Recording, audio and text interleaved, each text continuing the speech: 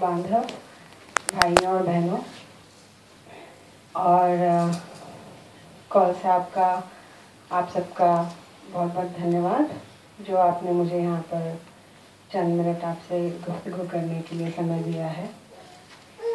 सबसे पहले मैं अपनी श्रद्धांजलि अर्पित करना चाहूँगी बांगड़ परिवार को, जिनके पुरन साहब की जो आज मेमोरियल सर्विस यहाँ पर है। भक्ति जी ने हमको बहुत ही खूबी से, बहुत अच्छी तरह से समझाया कि ये जो माँ और पिताजी का, हमारे वालिदान लोगों का जो एक कर्ज हम पे होता है, किस तरह से हमने अपने जीवन में उसको उतारने की पूरी कोशिश करनी चाहिए। और मैं इसके बाद जो आपके सामने रखना चाहती हूँ मैं उस कर्ज की बात करना चाहती हूँ कुछ चंद लम्हों के लिए कि जो एक सामाजिक कर्ज हम पर होता है। हम जिस समाज के नुमाइंदे हैं, उस समाज को आगे बढ़ाने के लिए जिन महापुरुषों ने, जिन लोगों ने अपना सारा जीवन बलिदान किया होता है और जिन्होंने उस व्यवस्था से हम निकालने की पूरी कोशिश की होती है। जिस व्यवस्था से हम लोग, सामाजिक व्यवस्था से हमारा आर्थिक दमन, हमारा सोशल दमन, हमारा सामाजिक और शैक्षणिक दमन हुआ होता है। बुद्धा ने अपने समय पर इस पूरे दमनकारी व्यवस्था से संपूर्ण समाज को निकालने की पचासी की उम्र अस्सी की उम्र तक उन्होंने लगातार एक जगह से दूसरे जगह चलकर एक ऑर्गेनाइजेशन जिसको कि भिकुक संघ कहा जाता है, उसको प्रस्थापित करके एक ऐसी समाज व्यवस्था प्रस्थापित करने की कोशिश की, जिसको कि उन्होंने बहुजन समाज का नाम दिया। बहुजन हिताय, बहुजन सुखाय की विचारधारा के अंतर्गत बहुजन समाज का निर्माण उन दुखों को जहाँ तक कि पंचशील के माध्यम से हमको हमारे परिवार के ऊपर आने वाले दुखों को निपटारा करने के लिए मार्ग दिखाया। हमको एक इंसान से अति उत्तम इंसान बनने का मार्ग दिखाया और निबाना तक पहुँचने का मार्ग दिखाया। उसी तरह सामाजिक तरह से अगर आप पूरी तरह से निम्न स्थिति पर हो तो उस सामाजिक स्थिति से किस तरह से लड़ना चाहिए? जिस तरह से एक शरीर में संखार उत्पन्न होते हैं और उनसे मारा को मारने के लिए जिस तरह से वो खुद लड़े थे तो सामाजिक स्थिति में ऐसी व्यवस्था के खिलाफ बगावत करने के लिए कौन से कौन से चीज़ों की ज़रूरत है और उससे किस तरह से मुक्त हुआ जा सकता है, यह तरीका भी बुद्धा ने बहुत बखूबी बताया है। और यही तरीका आगे लेकर सम्राट अशोक अपना राज्य प्रस्तापित कर सके।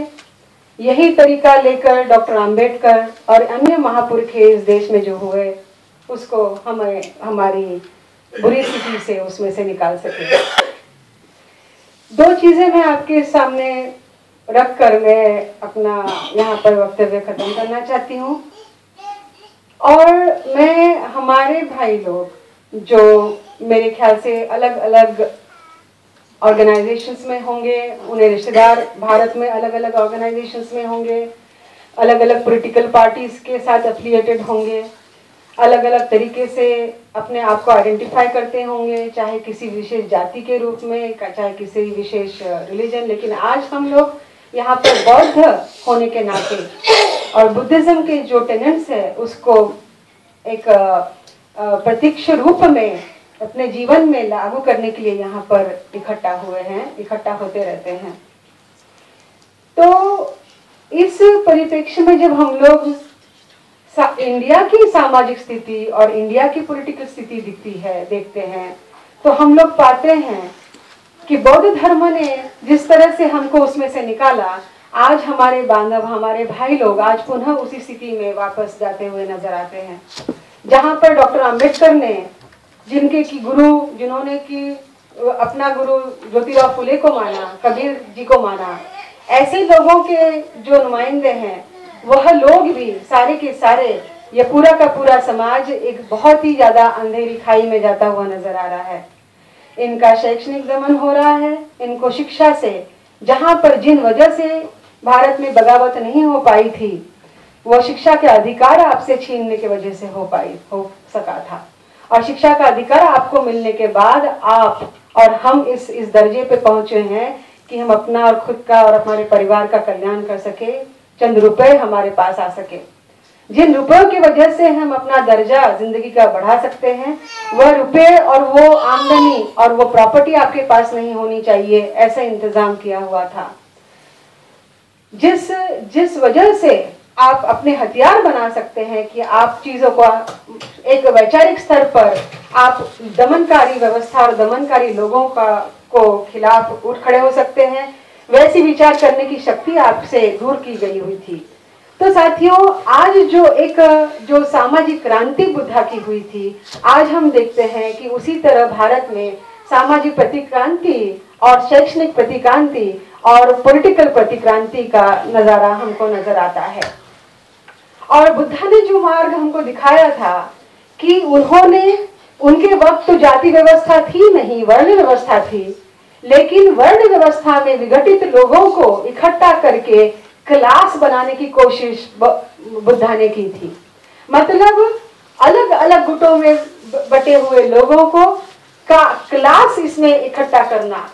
क्लास इसमें इकट्ठा करके ही उनको स्ट्रगल उनसे करवाना और प्रस्थापित व्यवस्था जो कि ब्राह्मणवादी व्यवस्था थी, उसके खिलाफ खड़ा करने का प्रयत्न बुद्धा ने किया था। बाबा साहब ने भी वही किया। लेकिन आज हम लोग देखते हैं कि यह जो क्लास स्ट्रगल है, यह इसके सामने बहुत बड़ा एक रोड़ा आया हुआ है और वो है वहाँ की जाति व्यवस्था या कास्ट व्यवस्था, जिसको कि क्लास में बदला जाने के लिए बहुत ज़्यादा दिक्कतें हो रही है। जब तक बहुजन हमारा समाज है, लेकिन बहुजन करके वो समाज बनेगा नहीं। मतलब बहुजन करके बहुजनों का मतलब न्यूमेरिकल में है, लेकिन अपने आप को बहुजन वो समझता है नहीं। और ये सारा का सारा समाज अलग अलग आइडेंटिटीज में पूरा बिखरा हुआ होने के वजह से यह पूरी तरह से एक समाज बनकर आ नहीं पा रहा है। और जब तक वो नहीं आएगा, न उसकी राजनीति उस तरह से चल पाएगी न उसका शैक्षणिक अधिकार उनको मिल पाएँगे, न सामाजिक अधिकार उनको मिल पाएँगे। तो ये जो गतिविधि है कि कास्ट स्ट्रक्चर को तोड़ के, जिस तरह से बाबा साहब ने एलिमिनेशन ऑफ़ कास्ट में हमको बताया है, हमारे बहुत सारे यंग बच्चे हैं, हमारी महिलाएँ, हमारी खातन हैं, जिन्होंने एनिमेशन ऑफ़ कास्ट जो डॉक्टर अंबेडकर का है, हम लोग आते हैं यहाँ पर और हम लोग उनको पूछते हैं, हम लोग नमन करते हैं। लेकिन उनका हमने साहित्य यहाँ पर लाइब्रेरी में है। लेकिन मेरे ख्याल से हो सकता है कि आप लोगों ने उसका उसको पढ़ा होगा। आप उसके, उसके आप अपने बच्चों को उसको पढ़वाते होंगे। और ये जो स्ट्रगल है ये भारत का जो कि दो महापुरुषों के रूप में हमारे सामने आता है तो वैचारिक स्तर पे हम उसको समझ के उसको लागू करते हैं। साथियों ये जो यह एक रोडा जो हमारे सामने है, इसके अलावा और एक रोडा है कि हमारे जो बहुजन समाज के लोग जो है, जिनको कि बहुजन समाज का कहा जाता है, बुद्धा ने आइडेंटिफाई किया है हमको। यह हमारी खुद की आइडेंटिटी नहीं है, या कोई पॉलिटिकल पार्टी ने इसको नहीं सामने लाया है। तो बुद्धा को अगर हम लोग मानते हैं तो अलग अलग इसमें बटे हुए हमारे ही भाई, हमारे ही भाइयों में से हम बौद्ध बने। लोगों ने अपनी जंजीरें तोड़ी और वो बौद्ध बने। कुछ लोग जो जंजीरों में जकड़े हुए हैं, उनको भी रिहा करना हमारा दायित्व है, हमारा रिस्पॉन्सिबिलिटी है। कुछ लोग ऐसे हैं जो हमारे बौद्ध न होकर अलग अलग रिलीजन में गए हैं, लेकिन वो उनके धर्म भी इक्वालिटी बेस्ड है, या जिनकी समानता के स्तर पर बसे हुए हैं। और जो गैर बराबरी के धर्म में फंसे हुए हैं, उनको भी उनमें से रिहा करना, यह भी हमारा काम है। तो हमारे विचार उन तक ले जाना अलग अलग लोगों में भाईचारा बढ़ाना। अगर तो जो धर्म गैर बराबरी असमानता और भाईचारा नहीं बढ़ाता है, अगर हम लोग, हमारे लोग उसमें फंसे हुए हैं तो अगर हम उनको नहीं निकालते, अगर हम अपने ही लोगों के बीच में काम करते हैं और अपना यह उत्तरदायित्व नहीं बनाते तो उनकी संख्या अगर बढ़ती है, बढ़ी रहेगी तो उतना ही जितना खतरा पहले पहले पैदा हुआ था, आज की तारीख में हमारे लोगों के लिए पैदा होता रहेगा। हमारा धर्म खतरे में रहेगा, बौद्ध धर्म खतरे में रहेगा। अन्य सारे धर्म जो समानता में विश्वास रखते हैं, भाईचारे में विश्वास रखते हैं, महिला और पुरुषों की समानता में विश्वास रखते हैं, वो सारे के सारे धर्मों को खतरा रहेगा। और इसलिए ये हमारे ऊपर ये बहुत बड़ी जिम्मेवारी है कि मॉडर्न टाइम्स में जहाँ पर कि हमारे पास एजुकेशन है, जहाँ की हमारे पास पैसा है कुछ हद तक, जहाँ के हमारे पास मॉडर्न वैल्यूज़ है, बुद्धा का धम्म है, बुद्धा की सीख है, बाबा साहब का है, ज्योतिराव फुले का है, पेरिया रामा स्वामी का है, और हमारे असंख्य महापुरुष हैं और पढ़े लिखे लोग इंटेलेक्चुअल क्लास ये जो हम लोग बैठे हुए हैं, बाबा साहब ने आपको मालूम होगा, कहा था कि intellectual class need not necessarily be the ruling class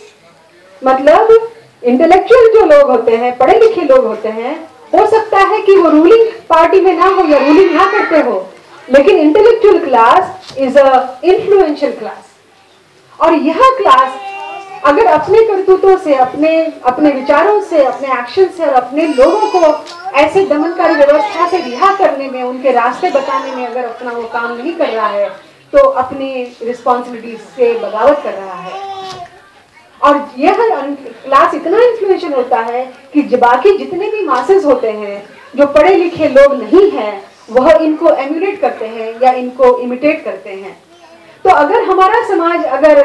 अगर डेरावाद में है, अगर हमारा समाज अगर सुपरस्टिशंस में फंसा हुआ है, अगर हमारा समाज पैसे को ज़्यादा महत्व देता है, ना कि विचारों को और एजुकेशन को अगर हमारा समाज पंजाब में ड्रग्स में इन्वॉल्व है अल्कोहल में इन्वॉल्व है, अगर हमारा समाज ऐसे पॉलिटिकल पार्टीज़ में इन्वॉल्व है, जिनसे कि खरीदा जा सकता तो इसके लिए वी आर रिस्पॉन्सिबल हमारी जिम्मेवारी है. We have been lacking somewhere हम लोग कहीं ना कहीं कम पढ़ रहे हैं और बहुत बड़ी मात्रा में कम पढ़ रहे हैं. तो साथियों, मैं यहाँ से मैं मूल्यवासी संघ को रिप्रेजेंट करती हूँ. यहाँ पर मैं अभी खाली में पिछले दस दिन, दिनों में यूनाइटेड स्टेट्स ऑफ़ अमेरिका में हम लोग ने जो ऑर्गेनाइजेशनल वर्क है, हमारे सभी बहुजन पूर्ण संपूर्ण मूल्यवासी बहुजन समाज के लोगों को एक दूसरे के बीच में डायलॉग एस्टेब्लिश करना, भाईचारा बढ़ाना, उनके बीच में की गलतफहमियाँ दूर करना, एक दूसरों के लिए स्ट्रगल करना, एक दूसरे जिस वक्त में, अगर तो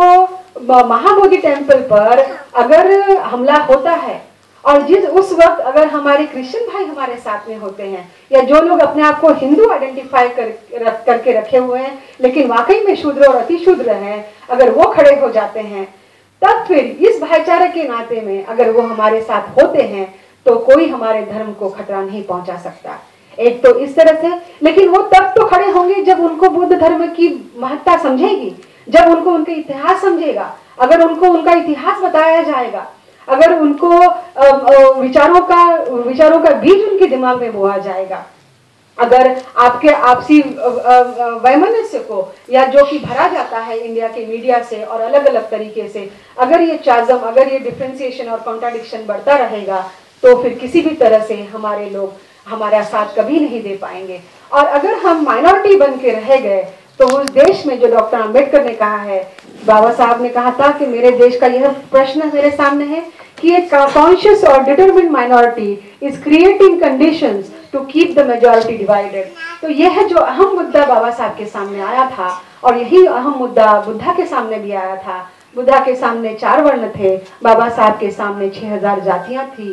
तो साथियों जब तक ये इस तरह का, का काम जो डायलॉग एस्टेब्लिश करने का मूल निवासी बहुजन समाज का निर्माण करने का जब तक हम नहीं करेंगे इस तरह से भाईचारा नहीं बढ़ाएँगे तब तक ना न हम लोगों को बचाया जाएगा ना हमारे धर्म को बचाया जा सकता है ना बाबा साहब के विचारों को बचाया जा सकता है क्योंकि डॉक्टर अंबेडकर ने आपको याद होगा कहा है कि it is not only possible to kill a man but it is also possible to kill his thoughts अगर उसका प्रचार और प्रसार नहीं किया जाएगा, अगर उसको सही सही मायनों में नहीं समझाया जाएगा, अगर हमारा इंटेलेक्चुअल डेवलपमेंट उस तरह से नहीं किया जाएगा, हमारा आज के देश में ये स्थिति है कि इंटेलेक्चुअल डेवलपमेंट तो बहुत दूर की बात है। लिटरल एजुकेशन से भी हमारे लोगों को महरूम रखा जा रहा है। और एक बहुत ही सुनियोजित साजिश के अंतर्गत, एक बहुत ही सुनियोजित प्लानिंग के अंतर्गत हमारे इधर का जो राइट विंग फैसिस्ट आइडियोलॉजी के लोग हैं, उनकी पॉलिटिकल पार्टीज़ उनके उनके लोग, उनकी ऑर्गेनाइजेशंस बहुत ज़्यादा तरीके से उसमें सक्सेसफुल हो रहे हैं। जिस वक्त जैसे जैसे ही हिंदुइजाइजेशन और संक्रिटाइजेशन बढ़ता जाएगा हिंदुआइजेशन और संस्कृताइजेशन का कोई दूसरा नाम नहीं है यह धर्म का नाम नहीं है, यह एक आइडियोलॉजी का नाम है जिसको कि ब्राह्मणिकल आइडियोलॉजी से माना जाता है। हम लोग, हमारी कोशिश होना चाहिए, ना हम त्योहारों के रूप में, ना डेरावाद के रूप में, ना सिर्फ़ अंधेरी भक्ति के रूप में, न किसी भी रूप में हमने ऐसी आइडियोलॉजी और ऐसे विचारों का कभी साथ देना चाहिए। और उसके लिए ये ज़रूरी है कि हमारे लोगों को, अगर इसमें से निकालना है तो हमारे एजुकेटेड लोगों को घर से बाहर निकल के काम करना पड़ेगा। बुद्धा सिर्फ़ वर्षावास के वक्त में घर में रहा करते थे। बाकी वक्त में उन्होंने चरके भक्त बनते जी जानते हैं, मानते हैं। वो फॉलो भी करते हैं। लेकिन हमारे लोग, हम लोग अगर बौद्ध को, धर्म को लेकर होते हैं तो हम लोग भी उपासक के रूप में we are almost like 25 percent और 30 परसेंट बनते जी and we should be doing all that what we are not doing हम लोग घरों में हैं अलग अलग कारण ढूंढते हैं घर से बाहर न जाने का। हम लोग अपनी महिलाओं को भी नहीं जाने देते, खुद भी नहीं जाते। और पूरी की पूरी तरह से ब्राह्मणवाद को बहुत ही नाम नहीं लेते, मगर ब्राह्मणवाद को हमारे सर पर अगर कोई ढो रहा है तो आज का निवासी बहुजन समाज ही ढो रहा है। हम लोग इसमें से इन चीज़ों को जानेंगे और अपने आप को रिहा करेंगे, ऐसी मैं आशा रखती हूँ। और मूल्यवासी संघ की तरफ़ से आप लोगों को बहुत बहुत बधाई देती हूँ। और मैं ये आपको बताना चाहती हूँ कि हमारे प्रयत्न को बहुत ज़्यादा शफा मिली हुई है। जहाँ जहाँ पर भी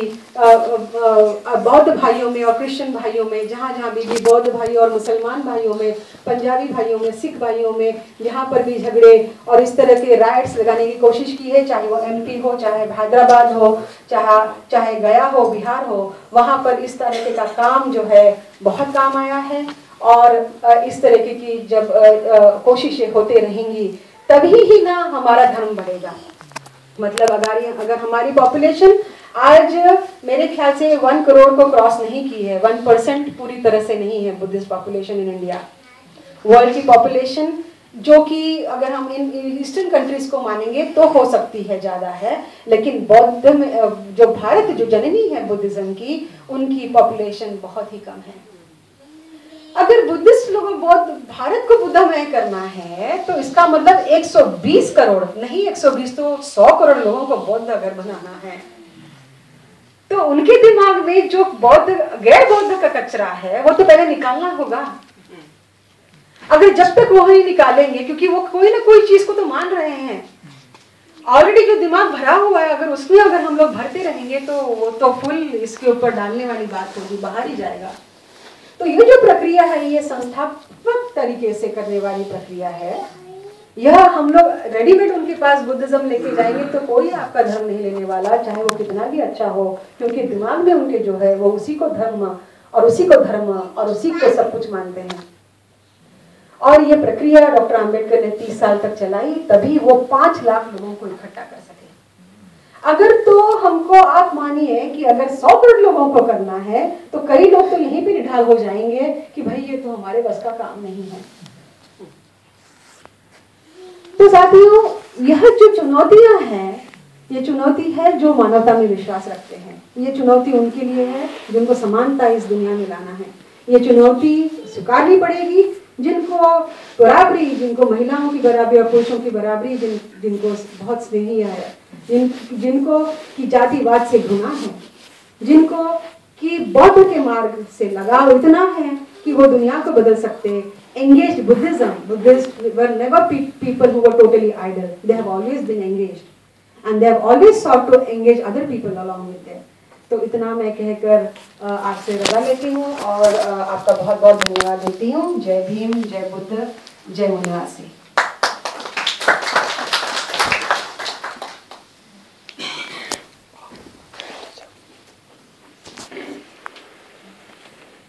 ਬਹੁਤ ਬਹੁਤ ਸ਼ੁਕਰੀਆ। ਇਹ ਸਨ ਡਾਕਟਰ ਮਨੀਸ਼ਾ ਬੰਗਰ ਜੀ। ਔਰ ਬੜੇ ਅੱਛੇ ਵਿਚਾਰ ਉਹਨਾਂ ਨੇ ਪੇਸ਼ ਕੀਤੇ ਹਨ। ਤੋ ਮੈਂ ਤੇ ਮੈਂ ਮੈਂ ਤਾਂ ਸੋਚਿਆ ਕਿ ਪੰਜਾਬੀ ਚ ਬੋਲਣਗੇ, ਲੇਕਿਨ ਪਤਾ ਲੱਗਾ ਕਿ ਉਹ ਸ਼ਾਇਦ ਹਿੰਦੀ ਚ ਉਹਨਾਂ ਨੇ ਬੜਾ ਅੱਛੇ ਤਰੀਕੇ ਦੇ ਨਾਲ ਆਪਾਂ ਨੂੰ ਦੱਸਿਆ ਹੈ ਕਿ ਮੈਂ ਉਹਨਾਂ ਦਾ ਇਸ ਬੁੱਧ ਵਿਹਾਰ ਵਿੱਚ ਵੈਲਕਮ ਕਰਦਾ ਹਾਂ। ਧੰਨਵਾਦ। ਕਿਉਂਕਿ ਜਿਸ ਵਿਚਾਰਧਾਰਾ ਨੂੰ ਲੈ ਕੇ ਬੋਲਣ ਵਾਸਤੇ ਜੋ ਚੱਲੇ ਨੇ ਅਗਰ ਇਸੇ ਤਰ੍ਹਾਂ ਕੰਮ ਕਰਦੇ ਰਹਿਣ ਤਾਂ ਦਿਨ ਦੂਰ ਨਹੀਂ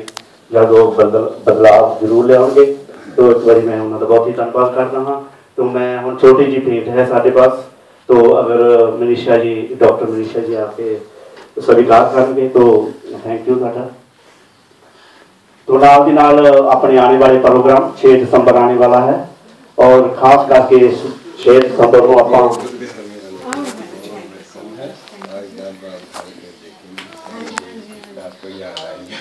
계속하는